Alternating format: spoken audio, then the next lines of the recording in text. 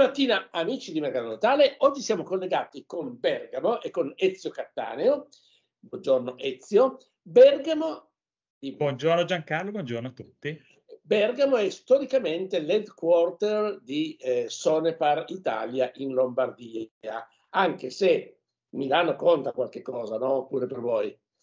Ben detto Giancarlo, storicamente Bergamo è l'headquarter della, di Sonepar in Regione Lombardia ma in realtà l'evoluzione che abbiamo portato negli ultimi anni su Milano in termini di infrastrutture porta sempre più l'epicentro regionale verso Milano.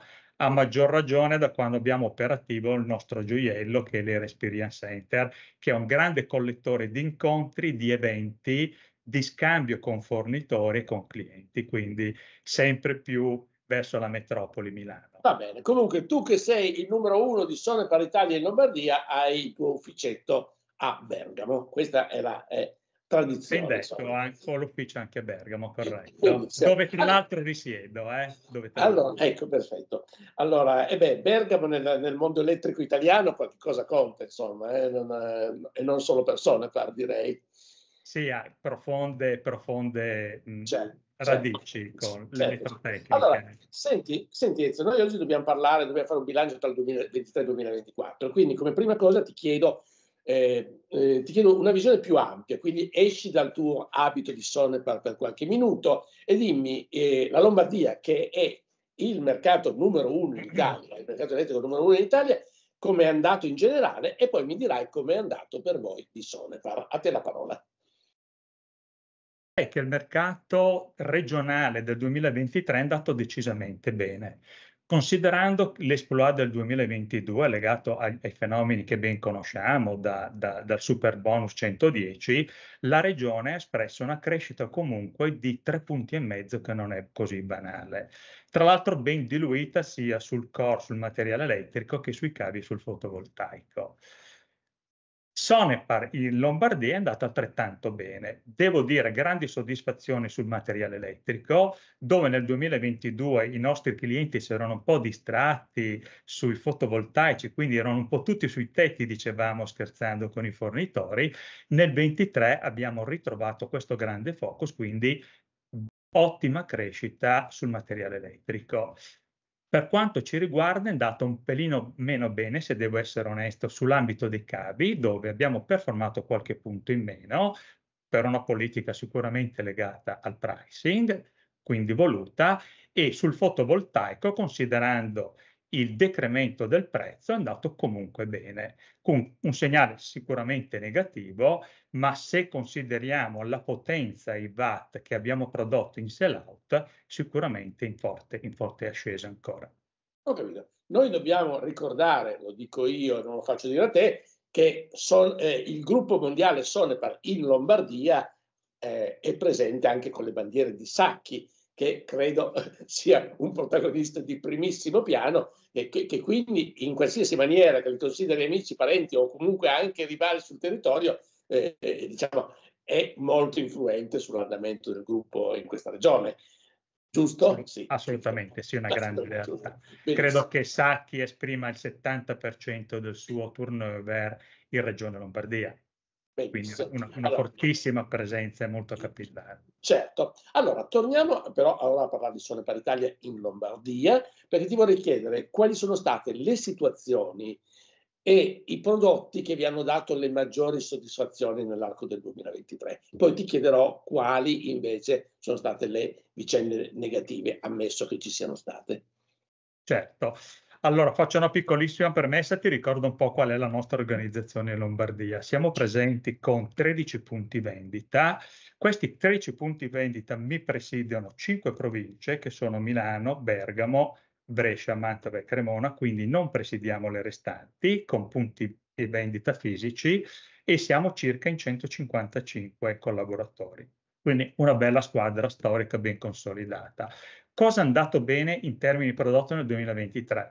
Sicuramente le linee elettive per la Lombardia sono e rimangono la Power Distribution, dove abbiamo una grande storia, una grande storicità, abbiamo delle buone competenze che sempre più andranno a nutrirsi con l'evento delle business, delle business unit, soprattutto cavalcando anche il discorso della transizione energetica.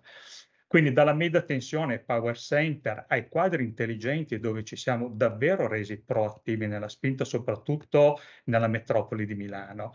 Molto bene anche tutto quello che è mondo connesso. E qua mi riaggancio a quando dicevo prima il nostro gioiello era Smart Center.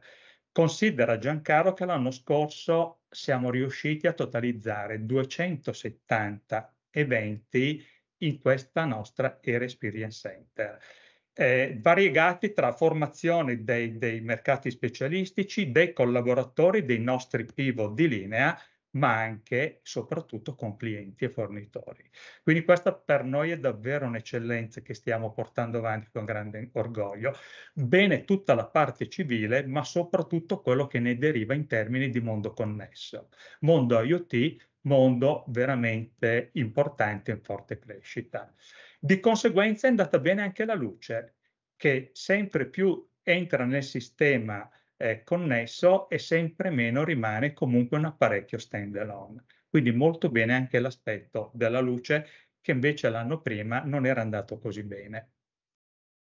Cosa è andato meno bene? Sicuramente per effetto del 2022 del super bonus, tutto quello che è il mondo delle HVAC, faccio riferimento soprattutto alle pompe di calore, qualche disturbo ce l'ha dato e come dicevo prima, cavi e fotovoltaico sicuramente non hanno prodotto un segno, un segno positivo. Quindi le linee elettive sono la power distribution, il mondo connesso e anche l'automazione industriale non è andata male, sicuramente in linea con quello che il mercato regionale ha espresso. Mm, allora, adesso siamo nel 2024 e quindi io eh, ho l'obbligo di domandarvi quali sono le vostre ambizioni, le vostre eh, speranze e, e, poi ti chiederò per l'ultima cosa, ma prima facciamo una pausa, se ci saranno degli eventi, tu sai dove voglio andare a parare, che eh, glorificheranno l'esistenza di Sone Paritali in Lombardia. Ma cominciamo con eh, le vostre ambizioni, le vostre speranze e i vostri progetti. Certo. Allora, nel breve sicuramente no, nei prossimi mesi non abbiamo sicuramente previsto l'apertura di nuovi punti vendita in Lombardia come Sonepar. Cosa stiamo facendo e cosa vogliamo fare per i prossimi mesi? Potenziare quelli esistenti, ma soprattutto aumentare le competenze, quindi arricchire con l'innesto di persone specialistiche le competenze all'interno di eh, degli stessi punti vendita esistenti. Quindi trasformare il punto vendita in un vero e proprio competence center, un punto di incontro dove il cliente e il fornitore trova tutte le competenze delle nostre linee di prodotto. Come dicevo poc'anzi, lo faremo con particolare interesse sulla power distribution e su tutto il mondo connesso, senza chiaramente trascurare le restanti linee. Molto bene. E quindi adesso arriviamo al dolce finale, a quello eh, che io sto immaginando dall'inizio del nostro dialogo, perché eh, mi è capitato di presenziare a un vostro evento, me lo ricordo sempre eh, come se fossi lì ancora adesso, e quindi ti chiedo, questo, eh, tra l'altro un evento mh, mm, molto complesso perché c'era da mangiare, c'era la buona musica e c'era il mercato elettrico. Come si chiama? Summer? Sì, ricordi bene, si chiama Sonepar Summer Festival. Sonepar Summer Festival, benissimo. Allora, c'è di nuovo quest'anno? Ci stiamo pensando, ne parlavamo giusto con i colleghi durante la riunione commerciale di gennaio. Abbiamo fatto sei edizioni, quindi ci siamo fermati solo negli anni del Covid e l'abbiamo fatto sempre come evento, permettimi il termine un po' ludico, che era un po' l'unione di tutta la filiera, quindi i clienti al centro, come sempre, i fornitori, i collaboratori. Quindi una serata dove c'era del buon cibo, eh, ci si beve, si fa un brindisi assieme, della buona musica e un piccolo speech aziendale di ringraziamento. Stiamo pensando se andare in continuità o se magari per quest'anno cambiare un po' il format e allinearlo un po' ai tempi un po' più moderni. Andremo comunque in continuità con un evento Lombardia. Ma sempre a Bergamo? No, è, è itinerante Giancarlo. Eh, la, una delle condizioni di questo evento è che ogni anno cambiavo provincia. Infatti abbiamo toccato principalmente Bergamo, Milano e Brescia, che è l'asse della 4 in buona sostanza. Non l'abbiamo mai fatto nella stessa location. Va bene. E quindi restiamo in attesa di importanti novità che ci comunicherete dal headquarter di Bergamo, questo sì. Molto volentieri Giancarlo. Grazie a Ezio Cattaneo, il signor Sonepar Italia in Lombardia. Ti ho nominato sul campo. Ma già, Grazie già, a te Giancarlo. Già, già, già lo sai.